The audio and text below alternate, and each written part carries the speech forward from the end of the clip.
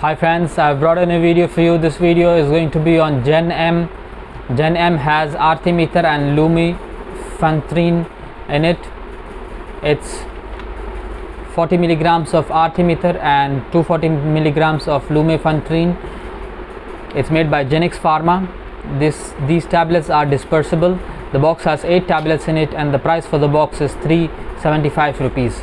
The combination of Artemether and Lumefantrine is used to treat certain kinds of malaria infections, a serious infection that is spread by mosquitoes in certain parts of the world and can cause death.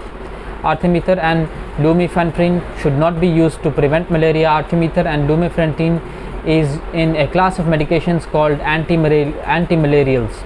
It works by killing the organism that causes malaria.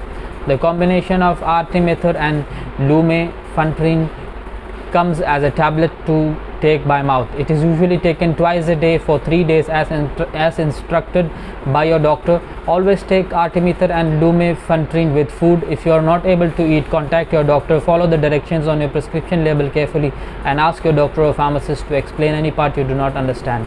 Take artemether and lumefantrine exactly as directed. Do not take more or less of it or take it more often than prescribed by your doctor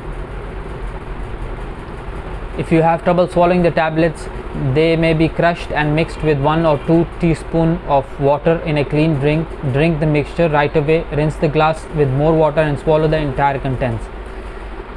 You may vomit soon after you take the medication. If you vomit within 1 or 1 to 2 hours after you take artemether and lumefantrine you should take another full dose of artemether and lumefantrine. If you vomit again after taking the extra dose call your doctor you should begin to feel better during the first days of treatment with artemether and lumefantrine. If your symptoms do not improve or get worse call your doctor. Also call your doctor if you have fever chills muscle pain headache soon after you finish the treatment. This medication may be prescribed for other uses. Ask your doctor or pharmacist for more information do not drink grape juice while taking this medication. Take the missed dose as soon as you remember it. However if it is almost time for the next dose uh, skip the missed dose and continue your regular dosing schedule. Do not take a double dose to make up for a missed one.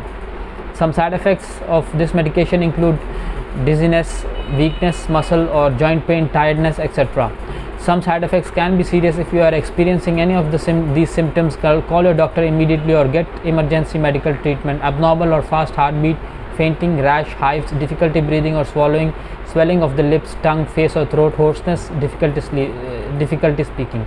I hope you like the video. Please like and share our channel, subscribe to our channel. Thank you.